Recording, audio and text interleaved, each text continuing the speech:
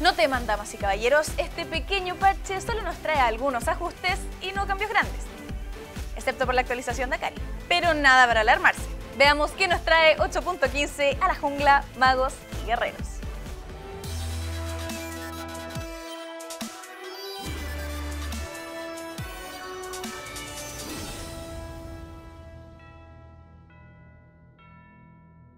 Apenas un parche atrás hicimos una mini actualización para Fizz.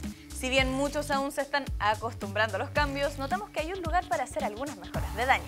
Para empezar, Tridente Piedra Mar hará más daño tanto en su activa como en sus ataques básicos potenciados. Además, Carnada para Tiburones también hará más daño a corta, mediana y larga distancia. O sea, todas las distancias.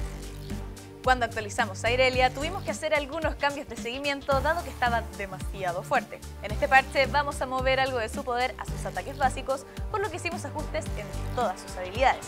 La campeona ahora comienza la partida con más daño de ataque y vida. Tiene más daño en su pasiva y su W tiene una reducción de daño fija, siendo mayor al principio y menor al final de la partida, permitiendo más intercambios de daño en el carril.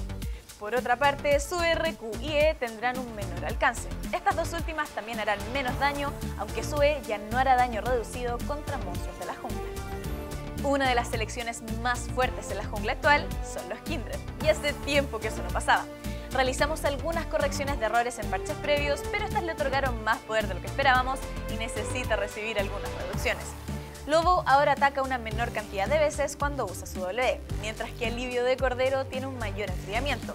Sus jugadores ahora deben tener más cuidado al intercambiar daño o intentar robar objetivos apoyándose en su definitiva. No hay duda que Lee es uno de los jungleros más fuertes en el juego temprano, aunque esto es compensado al decaer a medida que avanza la partida. Vamos a mover parte de su poder de juego temprano para potenciar su habilidad de hacer bola de nieve. Ahora, el segundo lanzamiento de la Q del monje ciego va escalando para hacer un mayor daño mientras más vida le falta al objetivo. Ya no hace un porcentaje fijo. También redujimos ligeramente su daño base, aunque ahora escalará mejor con daño de ataque. Queen, Syndra y Olaf reciben cambios a su juego temprano. Queen comienza la partida con menos armadura y el daño de su pasiva también es menor en todos sus niveles. Con esto, la campeona tendrá mayores dificultades para abusar de su ventaja contra campeones cuerpo a cuerpo. Yendo al carril central, mejoramos el daño de la Q de Syndra en el juego temprano. Ten cuidado de no recibir mucho daño si ya está próximo al nivel 6. Por último, la W de Olaf ahora le da más velocidad de ataque, por lo que puede limpiar campamentos más rápidamente. Pura buena noticia. Y ya que mencionamos algunos jungleros, también tenemos más cambios para la estrategia de canalización de oro. Si recuerdan, implementamos algunas restricciones en el parche anterior, pero vamos a modificar cómo funciona. Previamente, los súbditos entregaban menos oro si eras el miembro del equipo con más oro. Ahora, esta restricción solo aplica cuando eres quien ha cosechado más súbditos en el equipo. De esta forma, ya no serás penalizado si logras obtener unos asesinatos en el juego temprano, solo si pasas la mayor parte del tiempo entre un carril y la jungla. Gracias por actualizarte con nosotros. Recuerda que tenemos ajustes para soportes y objetos de tiradores en este video, así como la actualización de Akali por este otro. ¡Ey! No te vayas todavía. Tenemos algo muy importante que decir. Queridos invocadores, este es mi último capítulo en Actualizando.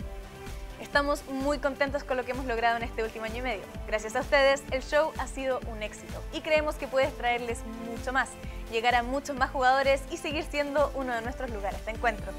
Por todo esto, el show hoy entra a los talleres de Heimerdinger, donde se trabajará arduamente por un tiempo en actualizar actualizando, para volver más adelante con un mejor espacio para todos los invocadores de Latinoamérica. Los invitamos a que nos cuenten en los comentarios qué es lo que les gustaría que trajera el nuevo show. Mientras tanto, no olviden mantenerse al día leyendo las notas del parche. Estoy tremendamente feliz de haberlos acompañado en estas actualizaciones.